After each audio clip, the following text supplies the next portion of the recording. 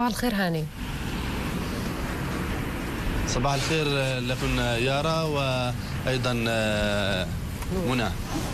نعم يسعد صباحك هاني. لو تطلعنا على آخر المستجدات في بيت لحم.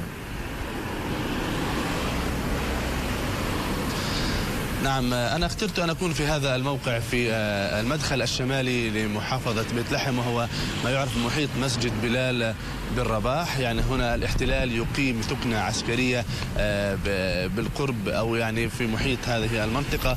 هذا مسجد بلال بن رباح احتله الاحتلال وأيضا أقام عليه ثكنة عسكرية وجدار. وهذا البرج يشكل يعني عبارة عن منطقة للتنغيص على المواطنين وأيضا لإجراء يعني لقيام الاحتلال أيضا بإطلاق النيران على المواطنين والتنغيص على حياتهم وأيضا لمراقبة حركة السير على هذا الشارع شارع القدس الخليل المعروف بحيويته وأهميته في هذه المدينة. وأيضا يصل إلى شارع المهد وهو المؤدي إلى ساحة كنيسة المهد.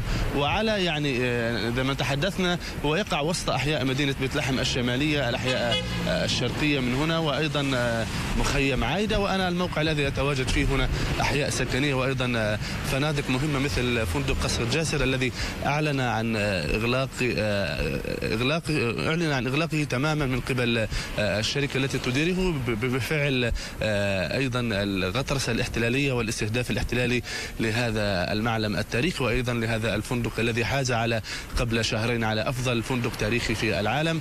اليوم يعني هو مغلق بفعل إجراءات الاحتلال. يعني اليوم أيضا سنكون مع في تمام الساعة الحادية عشرة والنصف مع مسيرة مهمة ستنطلق من وسط أو من ميدان باب الزقاق وسط المدينة صوب هذه المنطقة.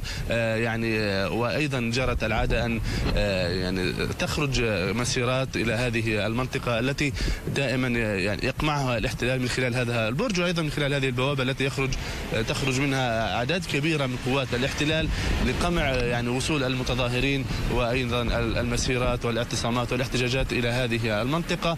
الاحتلال يقمع هذه المسيرات بكل ما أوتي من وسائل وعتاد عسكري. نتحدث يعني وإن كان وإذا ما تحدثنا عن قنابل الغاز والصوت فهي لها يعني دائما مضار كثيرة جدا. الغاز الذي يستخدم هو ضار جدا وغاز يعتقد الكثير والخبراء أنه غاز جديد يطلق على المواطنين بشكل عام. يعني ليس في بيت لحم لكن بشكل عام الاحتلال يستحدث كل وسائل إجرامه لكي ينفثها على أبناء شعبنا ويستخدمها ضد أبناء شعبنا. هذه الأحياء يعني تحدثنا عنها قبل قليل متضررة جدا. يعني إذا ما قلنا عن قصر جاسر أغلق تماما لكن نتحدث عن مباني سكنية وعائلات كثيرة. المئات من العائلات تسكن في هذه المنطقة متضررة جدا من اعتداءات الاحتلال. ليست يعني ليس أيضا في في هذه الفترة فترة هذه هبة الغضب من أجل القدس ورفضا لقرار ترامب. لكن يعني في في جميع الأحوال الاحتلال يعني يستهدف هذه المنطقة المنطقة من بيت لحم. نعم. كل الشكر لك زميلنا هاني فنون. كنت معنا من بيت لحم و